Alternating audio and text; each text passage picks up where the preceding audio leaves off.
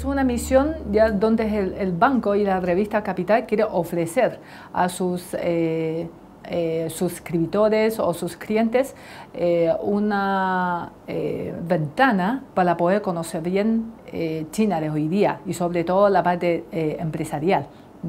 Entonces es una misión con visita a planta, es una misión que tiene eh, visita a las universidades, a las asociaciones afines eh, para poder generar algún grado de intercambio mayor hasta lo que eh, ha tenido hoy día. Porque hasta hace poco muchos de los seminarios ya están concentrados cómo hacer negocio con China. Pero la idea es darle un vamos a segunda fase para que empieces a tener contacto. Eh, con red de empresarios, ya sea chilenos o latinoamericanos en China o directamente con los empresarios chinos para poder empezar a generar negocios.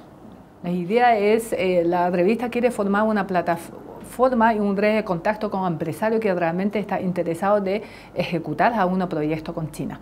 Entonces está bastante abierta, no se limita solamente a los eh, suscriptores, sino al contrario, los empresarios participantes de esta misión eh, automáticamente pasan a ser eh, como suscriptor de la revista por un año.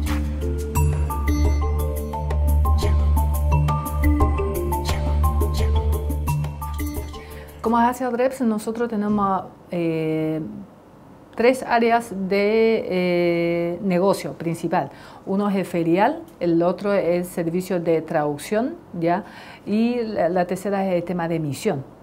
Entonces, el tema de Expo Hospital, por ejemplo, entra en área de negocio ferial y tenemos varias ferias importantes de Chile a nivel internacional. Tenemos, por ejemplo, Expo Min, tenemos Expo Naval, tenemos FIDAE, obviamente eh, Expo Hospital, que es una feria que recientemente empieza a posicionar en el mundo, en el mercado Asia.